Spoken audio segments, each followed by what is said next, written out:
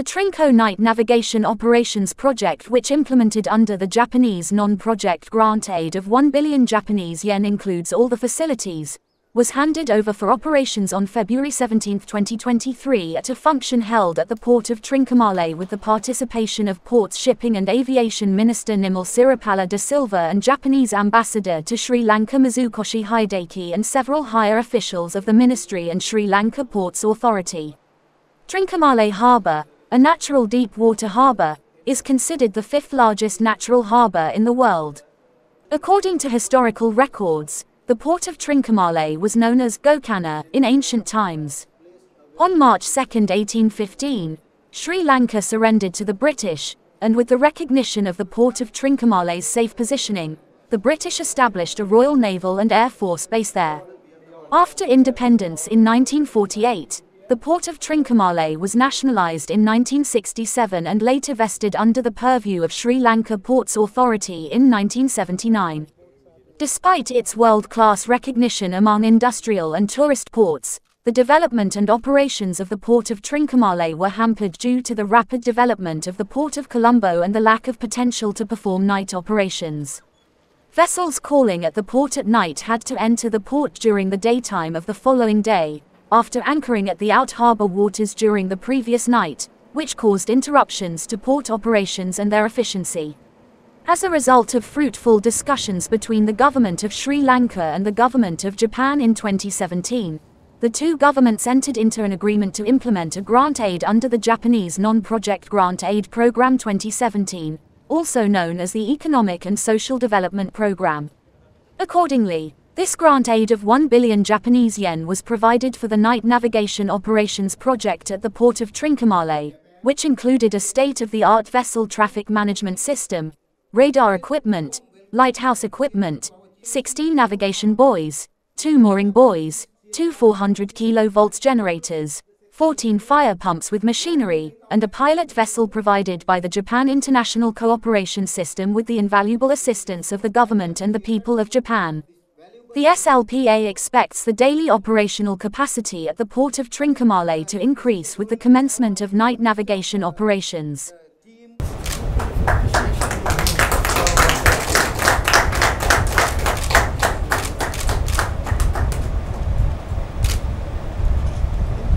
I must say, Your Excellency, that uh, after you giving this uh, night vision facility to us, we have made this uh, port a profitable port.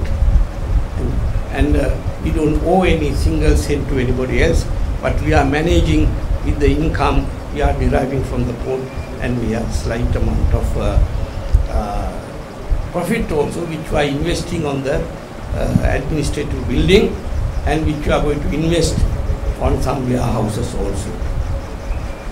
The importance of this port is historically it's an important port for Sri Lanka and during the Second World War and all that, the British occupation of the uh, of this port and the adjacent land and thereafter it is Mrs. W.R.D. Bandaranaike, the pioneer of my party, leader of my party, who took over this port uh, from the British and it was given to the government of Sri Lanka and thereafter it was handed over to the Sri Lanka Port Authority. So therefore this has a very long history for this port also. And as mentioned by me people here, it is one of the largest and port with the scenic beauty as well as uh, a natural harbour uh, with the uh,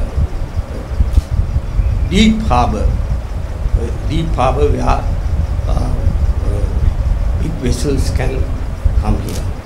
But we have to develop this. We can't, uh, in the maritime industry now, is every day changing and uh, uh, we need to embrace the digitalization, port management, as well as the new technology into our port management systems. Where your assistance, the technology advancement and sharing the information as well as the knowledge is very essential for a country like Sri Lanka. Though we are a maritime hub, We are a uh, island nation with 20 million population. Our economy has to be strengthened.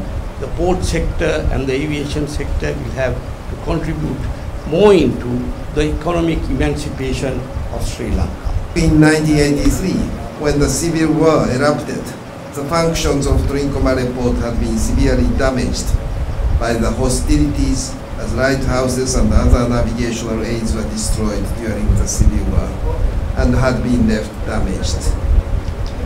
In May 2016, during the Japan-Sri Lanka summit between the Prime Minister at the time Wickremesinghe, now President, and former Prime Minister Abe, who has passed away last year, held in Tokyo, the importance of port development in Sri Lanka was highlighted.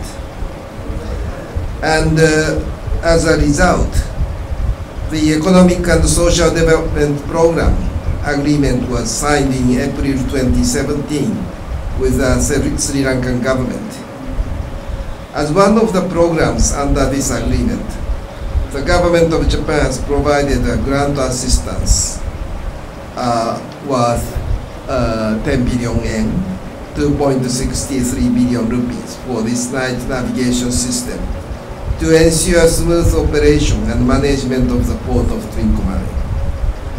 This system, as has been ex already explained, uh, includes mooring buoys, other port maintenance related equi equipment, and the latest equipment manufactured by Japanese companies in order to enhance, enhance the port functions aimed at the safety of nighttime navigation and 24-hour operation of the port of Trincomalee.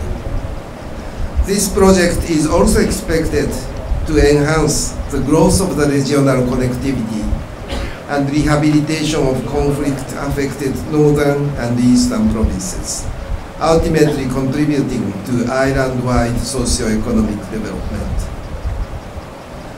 Well, I would like to apologize for the delay of the handover ceremony, which should have been happened a long time ago. But I have heard that the equipment we have uh, provided are already operating, and uh, uh, it is benefiting uh, the Trincomalee port as well as this region.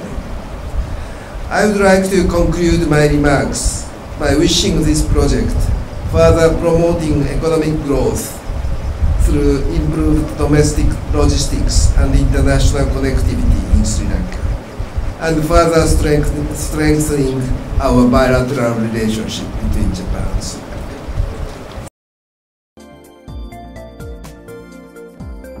more latest news, subscribe to FTTV.